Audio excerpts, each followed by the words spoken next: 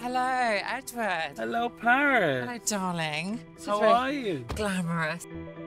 So, if you look back at your life over the sort of past 10 years, did you think you'd be where you are in this incredible position? I am from a northern mining town. This life that I'm living now was never meant for me.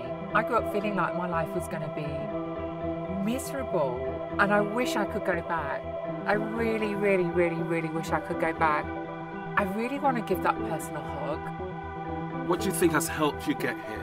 I like to think I've got some talent. I've got Very talented. Well, thank you. And I've, I've got things that I feel passionate about. But also, some of it is people saying, yeah, we will open the door for you.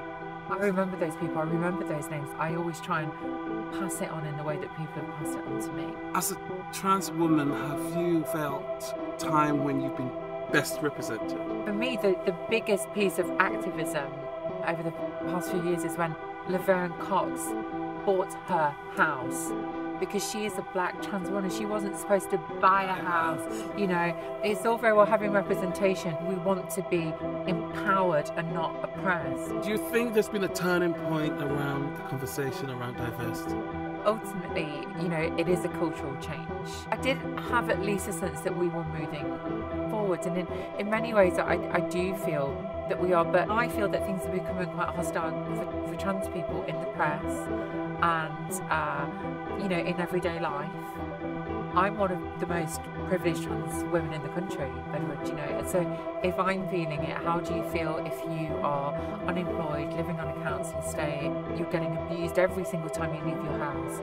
Because this is the reality for a lot of people. I've actually got a little present for you. This is my book. Oh, This is what it feels like for a girl about growing up as a sort of grotty kid on a council estate, getting into all sorts of trouble, ending up in prison, was bullied at school, you know, felt intimidated by my father at home. I want people to know what it feels like to grow up and not be supported. I've had to make some tough choices, you know, and people from marginalised backgrounds do because it's not being handed out to us on a plate. So I'm very mindful of how I got to here because I am not supposed to be here. you being here makes the world a better place. Thank you so much for being a force for change. Thank you for being an inspiration to me and to countless people out there.